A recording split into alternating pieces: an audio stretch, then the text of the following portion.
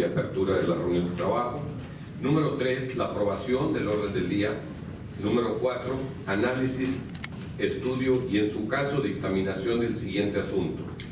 Iniciativa de decreto mediante el cual se reforma la ley de la Comisión de Derechos Humanos del Estado de Tamaulipas en materia de cultura, de cultura de la paz. Número 5, asuntos generales. Y número 6, clausura de la reunión de trabajo. Es diputada presidenta. Muchas gracias, diputado. Damos la bienvenida a la diputada Leticia Vargas a esta comisión. Bienvenida, diputada. Una vez conociendo el proyecto del origen del día, del orden del día, solicito a quienes integran esta comisión se sirvan a, a manifestar el sentido de su voto levantando la mano. Quienes estén a favor del orden del día. Ha sido aprobada por unanimidad.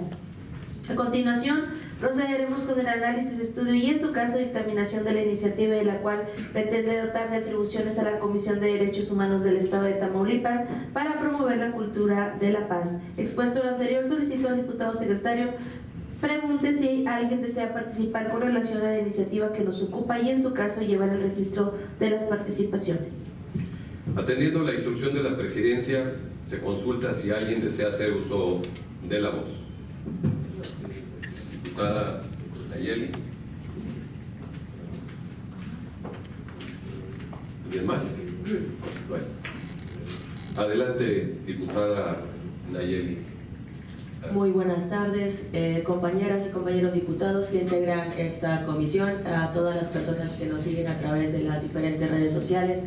La acción legislativa en estudio tiene como propósito general reformar la Ley de Comisión de Derechos Humanos del Estado de Tamaulipas a fin de dotar de atribuciones a la Comisión de Derechos Humanos del Estado de Tamaulipas para promover la cultura de la paz.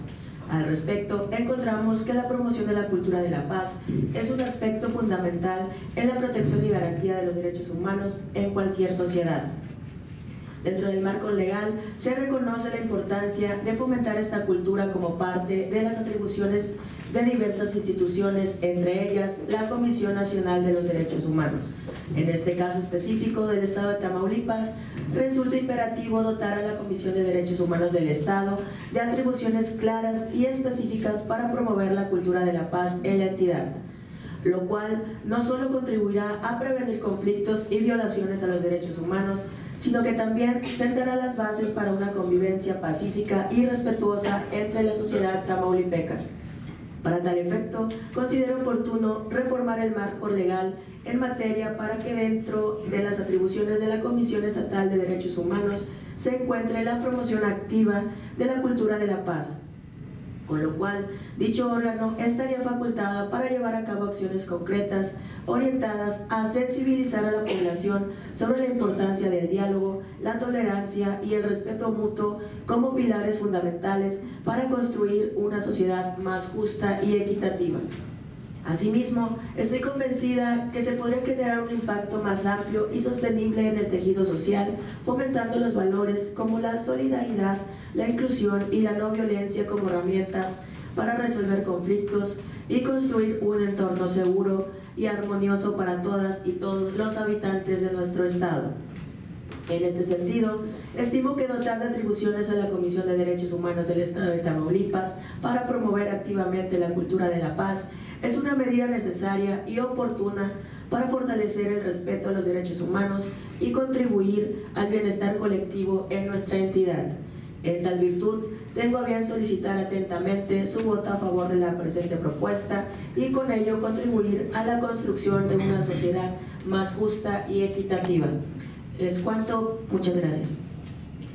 Gracias, diputada. Diputada Presidenta, es cuanto a las relaciones a las participaciones registradas. Gracias, diputado. Acto seguido me permito consultar a los integrantes de esta comisión el sentido de su voto con relación a la propuesta efectuada por la diputada Nayeli Lara Unroy. ¿Quienes estén a favor de la propuesta? Gracias.